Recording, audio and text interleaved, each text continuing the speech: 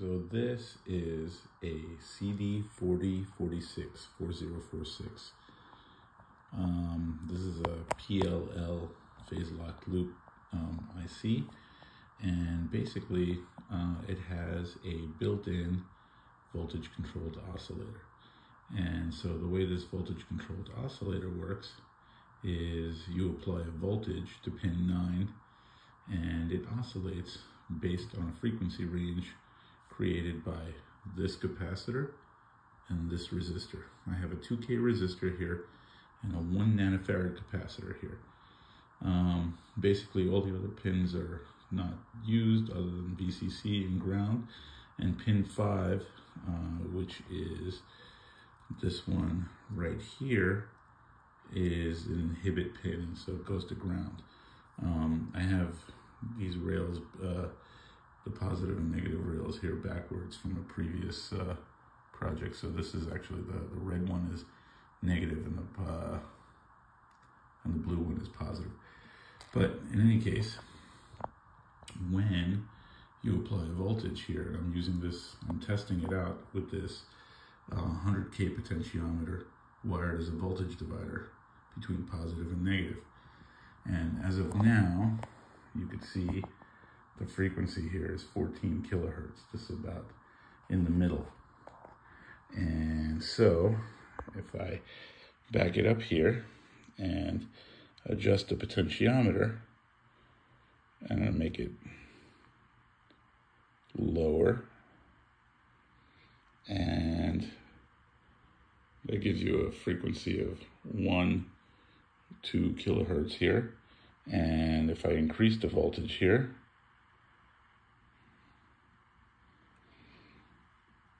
it goes up higher. Let me increase the resolution here.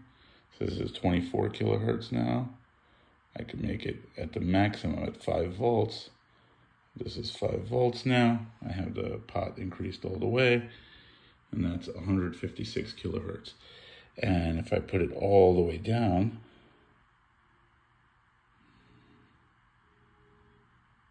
I could get it to go to nothing. It doesn't go at all. Um,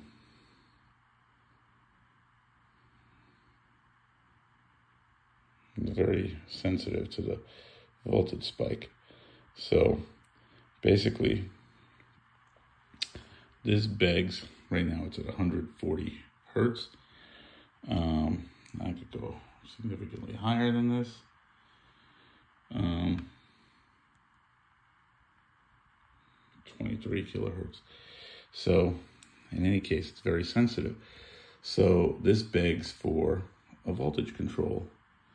And we're gonna try to do a neat little experiment here with an envelope generator and voltage control. So now I've put together this very simple, straightforward envelope generator and it starts with this button which is pulled low naturally and then connected to VCC and so every time I press it it gives a little pulse. Okay so that works. Now what happens is um, I press this button and uh, the input of that goes into this TLO 74 op amp. That input it goes into and it's buffered here. Then it goes through this diode and then to the positive end of this electrolytic capacitor. The output of that goes through the this diode and through this 100k potentiometer and then back to the output or of the op amp, the buffer.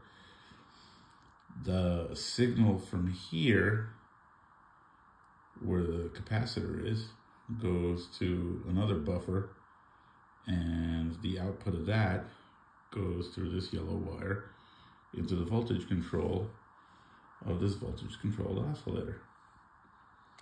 And the way the envelope works is it's basically a very simple envelope.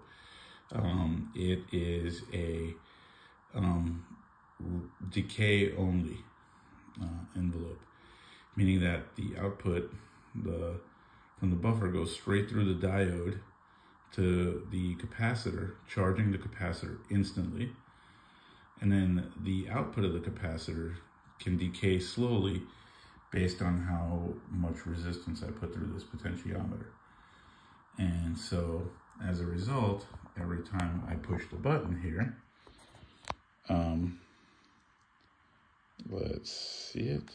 Oop.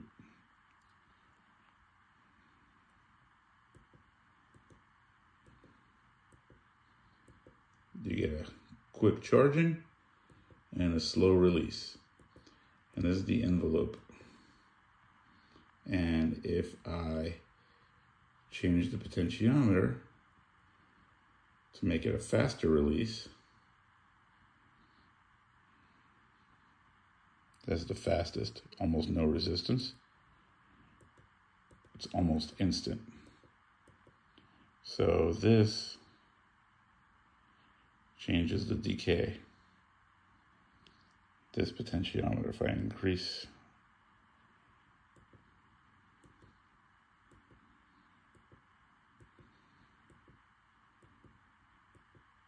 and there it is. So now, if I take the oscilloscope probe and put it on the output of this voltage controlled oscillator, which is the CD4046, you get a pattern that looks like this. Every time I push the button, and it's in order to appreciate how the frequency changes based on the voltage applied to it. Let me make it a little bit faster just to, if I hold it down, it stays at a fast frequency and I let it go. And you can see as I release the button, the frequency goes, gets slower according to the decay of the envelope. So let's try that again. Oh, you, you can see it even better here on this little capture. You see the change in the frequency. And that's how you could use control voltage on this voltage controlled oscillator um, that's being shaped by an envelope generator. And it's a very simple um, release only or decay only envelope generator.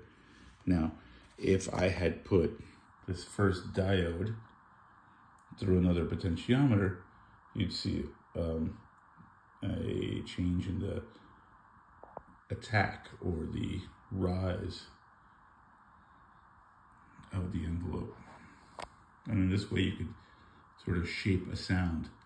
So now I put this very large capacitor here. It's a 47 microfarad capacitor as opposed to the um, one microfarad capacitor that I had here before. And um, if I uh, turn this on, um, you have a uh, you have the capacitor charging um, a little slower because there's much more capacity to it. It can hold a lot more charge. And the decay is going to be a lot slower through that resistance. So let's try this with the button on the oscilloscope. And let me press the button. And you can see that decay. Keep moving this. Let's try it again. Look how slow that delay, that decay is. So now, if I put the oscilloscope probe on the actual output, so there's nothing now because it's at zero. But now, let's press the button. And it should decay down to nothing.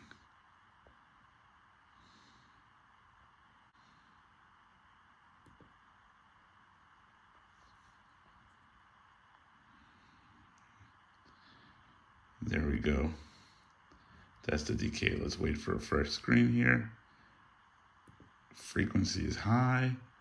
Then it goes, slows down according to the decay.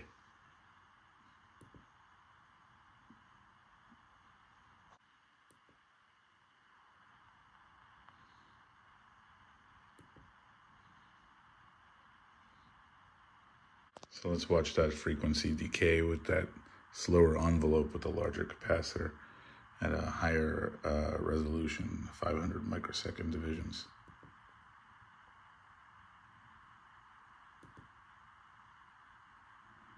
And you can see the frequency changing rapidly.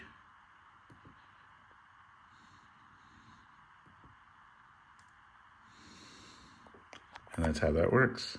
So now I change the resistor here to a 2K resistor and maintains the same capacitor.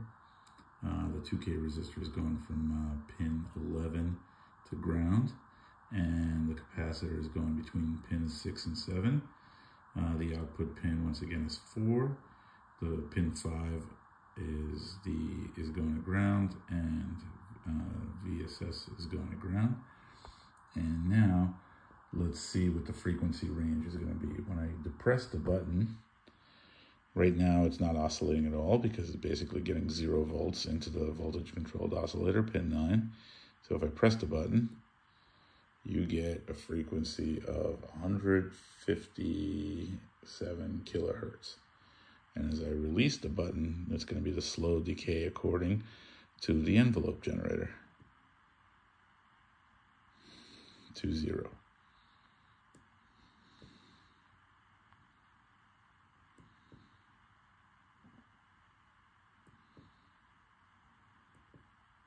And if I increase the speed of the decay by changing this potentiometer, um,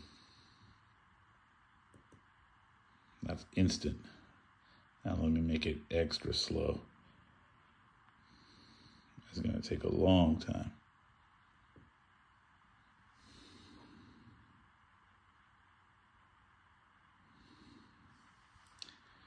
That's a nice visualization of it. Let me make it max.